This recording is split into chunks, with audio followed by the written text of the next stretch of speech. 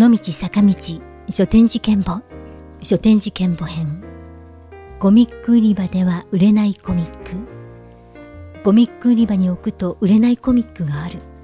例えば失踪日記東秀夫イーストプレス。例えば今日の猫村さん星より子マガジンハウス。ベストセラーであるにもかかわらずコミック売り場では売れないコミックは存在する。理由は通常コミック売り場に行かない人たちが買っているから。ポプラ社から怪盗ルパンの全集が出たって聞いたんだけどどこの書店探しても見つからないんだよね。という声を聞いた。今年は怪盗ルパン生誕100年にあたる年で映画「ルパン」も公開されたのだからないはずはないだろうに。ほとんどの書店の自動書売り場にあるはずですよ。と答えるとすごく驚いた顔をされた。あの名作ミステリーは子供から大人まで幅広い層に読まれるはずだから自動書コーナーに置くのはどう考えてもおかしい。だから自動書コーナーを探すわけがないじゃないか。うーんなるほど。怪盗ルパンポプラ社文庫版全20巻はルビを振っているし子供が理解しにくい言葉にはわざわざ注釈を入れている。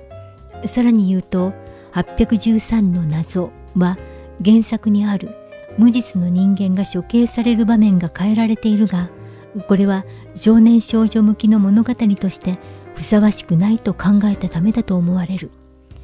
書店員が内容を確認すればするほど児童書に並べたくなる作品だ。それでもこの人の言い分もよくわかる。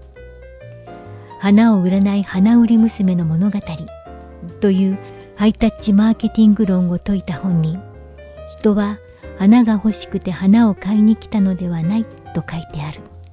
なんだか全問答のような言葉だが続きを読めば納得できる。ある人は入院している人へのお見舞いとして持っていく花を買いに花屋を訪れる。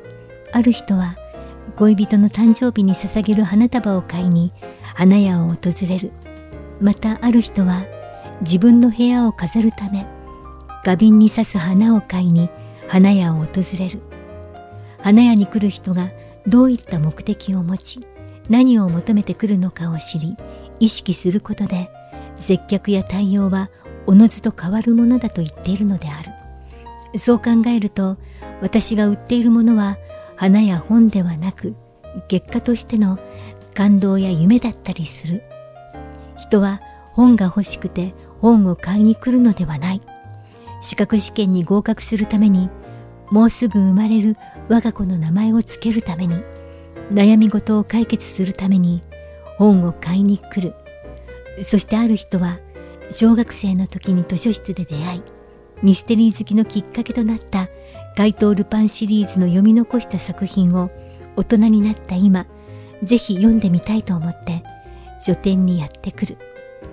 この本は誰が読むのかこの本を誰に読ませたいのかそして書店はどう対応するのかこれは私たちにとって常に重大な問題だ。尾道坂道書店事件簿。書店事件簿編。コミック売り場では売れないコミックでした。児玉健三さんのエッセイ集尾道坂道書店事件簿は2009年に本の雑誌社から出版されました。毎月1週目のこの時間にお送りしています。次回もどうぞお楽しみに。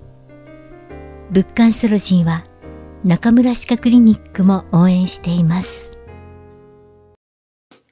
あなたの笑顔に自信と輝きを。中村歯科クリニックでは認定医による歯科矯正を行っています。お子様の歯並びが気になる方もお気軽にご相談ください。福山市引野町医療法人神戸会中村歯科クリニック。